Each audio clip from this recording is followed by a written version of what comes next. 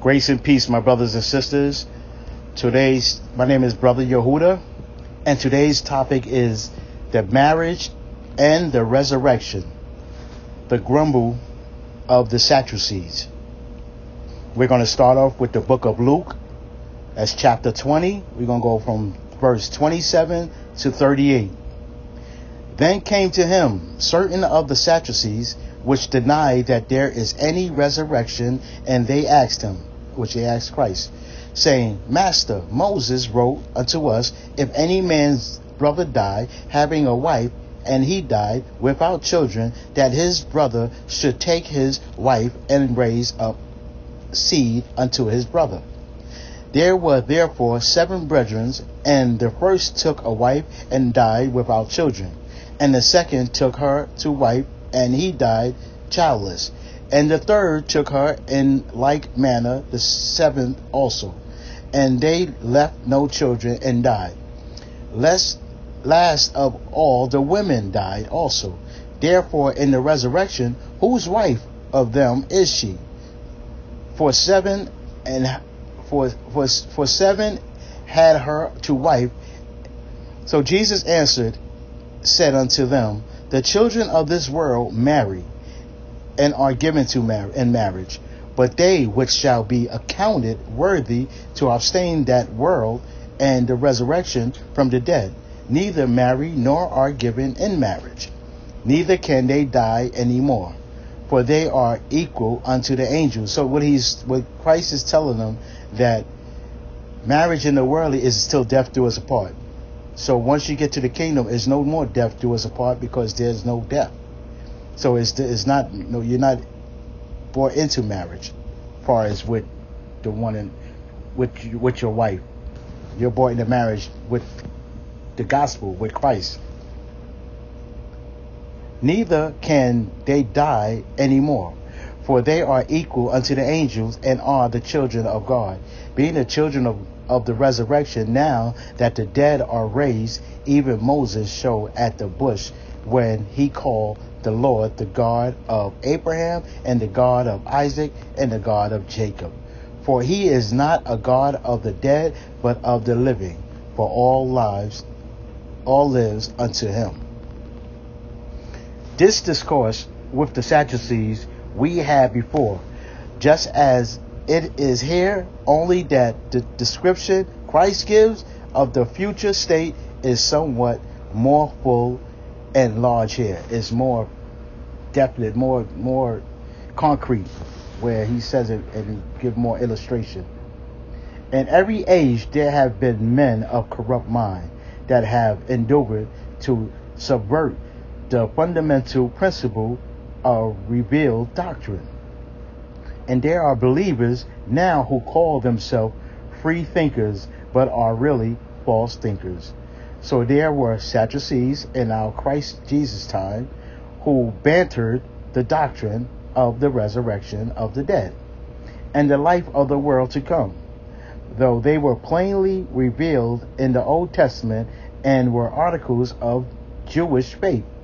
The Sadducees denied that there is any resurrect, res, resurrection, any future state, so resurrection may signify not only not return to the body, to life, but no continuance of the soul in life. No world or spirit, no state or recompense and retribution for what was done in the body. So in other words, you say it's like you get no reward for your obedience that God wants you to walk in. So it's like you're died. Your God promised you a reward. He promised you an inheritance. So that means all his speakings and all his teaching and his scriptures is in vain. For what? So take away this, and all the gospel falls to the ground. It is common for those that design to undermine any truth of God to perplex it and load it with difficulties. You know, try to keep you all confused. So these Sadducees did when they would weaken people's faith in the doctrine of resurrection, they put a question upon the belief of it. which they thought could not be answered either way to satisfaction. The case perhaps was matter of fact, at least it might be so of a woman that has seven husbands. Now, in the resurrection, whose wife shall she be? so she's supposed to be married to this. I mean, that's just the knowledge man of try to have you confused with, like he, like, like if they're making sense. Whereas it was not at all matter whose she was, for when death puts on the end to the relation, it is not to be resumed. That's what you vow to. There is a great deal of difference between the state of the children of men on earth and that of the children of God in heaven. A big difference. A vast unlikeness between this world and that world, and we wrong ourselves and wrong the truth of Christ when we form our notions of that world of spirits, but our present enjoyment in this world. Because you know you want to ignore the, the world to come, but you want so you can make an excuse to have all the joy here in this world. The children of men in this world marry and are given in marriage. The children of this age, this generation, both good and bad, marry themselves and give their children in marriage much much of our business in this world is to raise and build up families and to provide for them. Much of our pleasure in this world is our relations. Our wives and children's nature inclines to it. Marriage is instituted for the comfort of human life. Here in this state where we carry bodies about with us it is likewise a remedy against fornication. That natural desire might not become brutal, but we, under direction and control, the children of this world, are dying and going off the stage, and therefore they marry and give their children in marriage, that they may furnish the world of mankind with needful recruits that as one generation passes away, another may come, and that they may have some of their own offspring to leave the fruit of their labors. 2. Especially that the chosen of God is in future ages may be introduced, for it is a godly seed that is sought by marriage. Now we're going to go to the book of Malachi, chapter 2, verse 15. And did not he make one? Yet he that reside that, that he the residue of the spirit, and wherefore one that he might seek a godly seed. Therefore take heed to your spirit, and let none deal treacherously against the wife of his youth. That's in the book of Malachi, chapter 2, verse 15 a seed to serve the Lord that shall be a generation to him. The world to come is quite another thing. It is called that world. But way of importance and outstanding quality, note there are more worlds than one. A present visible world, which we're in, and a future invisible world, which is to come. And it is the concern of every one of us to compare worlds, this world and that world and give the preference in our thoughts and cares to that which deserve deserves them. Now observe who shall be the inhabitants of that world. They that shall be accounted worthy to abstain it, that is, that are interested in Christ's merits, who purchased it for us, and have a holy meekness for it wrought in them by the Spirit, whose business it is to prepare us for it. They have not a legal worthiness upon account of anything in them or done by them, but in biblical worthiness upon account of the not compatible price which Christ paid for the redemption of the purchased possession. It is worthiness and put it by which we are glorified, as well as righteousness, and put it by which we are justified, considered worthy. They are made agreeable to the world. The disagreeableness that there is in the corrupt nature is taken away, and the disposition of the soul are by the grace of God. Conform to that state, there are by grace made and counted worthy to abstain that world, it intimate some difficulties to reaching after it, and danger of coming short. We must so run as that we may abstain, that shall abstain the resurrection from the dead. That is the blessed resurrection for that of condemnation, as Christ calls it in the book of John, chapter 5, verse 29. And shall come forth they that have done good unto the resurrection of life, and they that have done evil unto the resurrection of damnation. That's in the book of John, chapter 5, verse 29. Is rather a resurrection to death, a second death, and eternal death, than from death. What shall be the happy state of the inhabitants of that world we cannot express or conceive. We're going to go to the, the book of First Corinthians, chapter 2, verse 9. But as it is written, eye has not seen, nor ear heard, neither have entered into the hearts of man the things which God has prepared for them that love him. That's in the book of Corinthians, verse 2. I'm sorry, chapter 2, verse 9. See what Christ here says of it. They neither marry nor are given in marriage.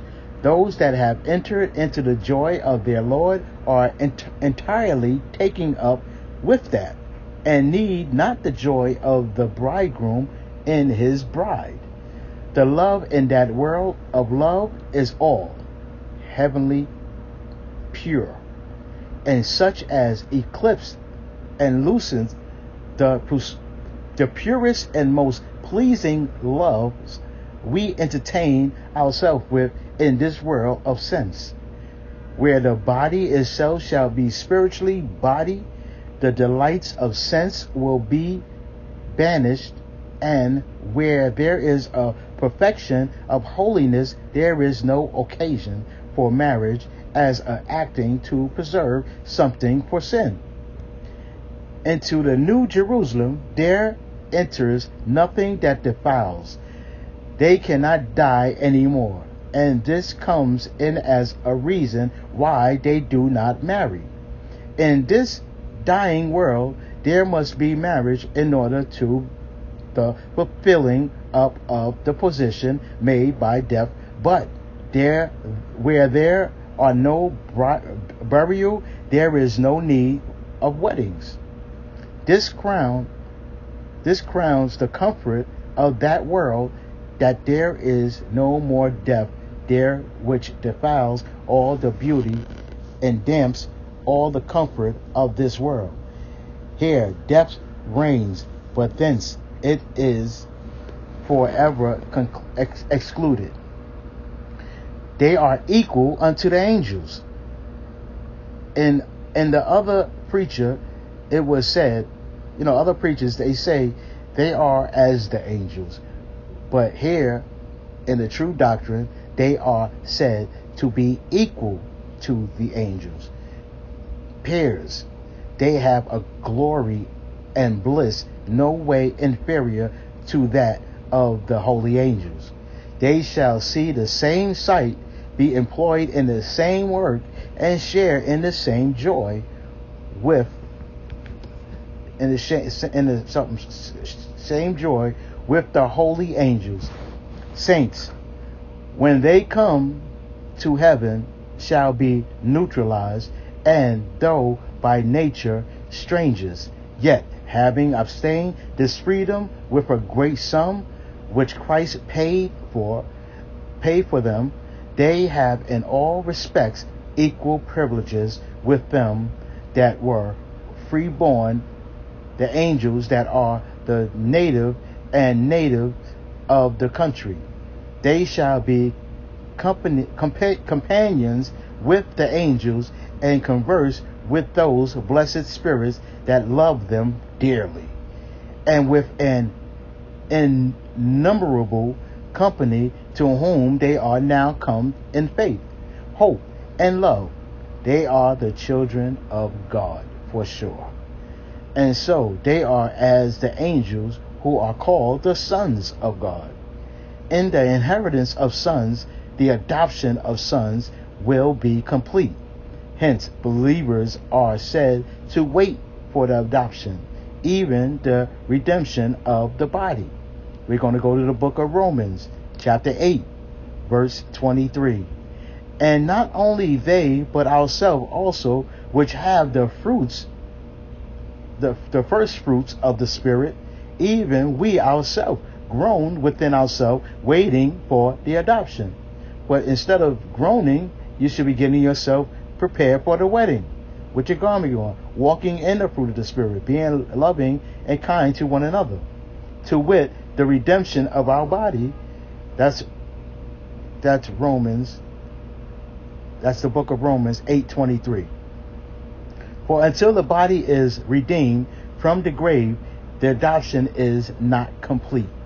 So you have to be you have to go rest in peace and be resurrected from the grave so the adoption can be complete. Now are we the sons of God. First, we're going to go to the book of First John, chapter 3, verse 2. Beloved, now are we the sons of God, and it do not yet appear what we shall be, but we know that when we shall appear, we shall be like him. For we shall see him as he is.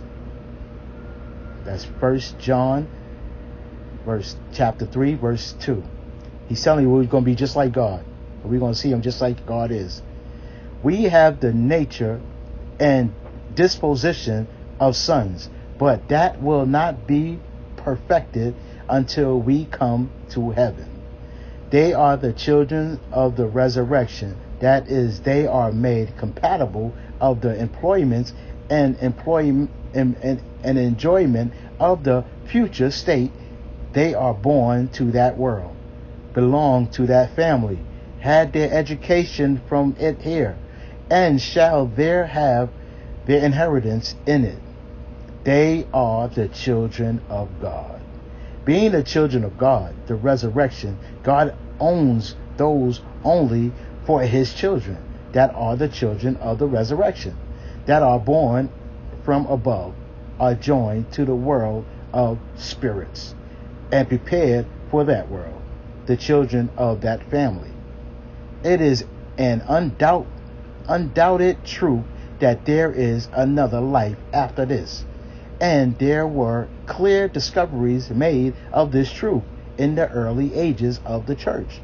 We're going to go to the book of Luke, chapter 20, verse 37, and we're going to read 37 and 30. I mean, I'm sorry, 37 and 38. Now that the dead are raised even Moses showed at the bush when he called the Lord the God of Abraham and the God of Isaac and the God of Jacob.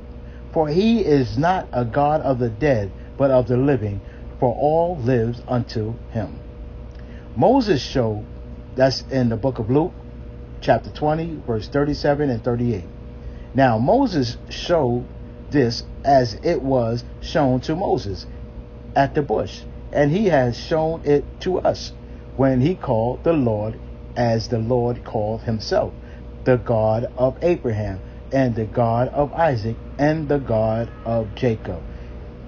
Abraham, Isaac, and Jacob were then dead as to our world they had departed out of it many years before, and their bodies were turned into dust into the cave of Machpelah how then could God say, Not I was, but I am the God of Abraham? It is absurd that the living God and fountain of life should continue related to them as their God.